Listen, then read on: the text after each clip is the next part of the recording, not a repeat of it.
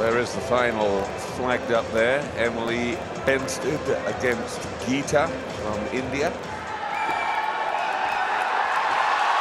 Oh, and Bensted attacking, but it's Geeta who gets the point. The all-important, can she now turn? Take a real advantage. Well, she's got her out. Well, Bensted gets the inside grip with the, the right hand, but then the leg, double leg attack. It's a three-pointer.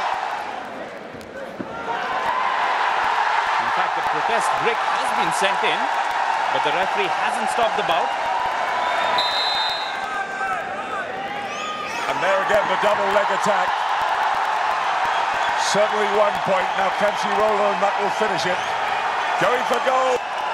That is indeed it. India's first ever gold in women's wrestling at the Commonwealth Games. And it comes through a fantastic performance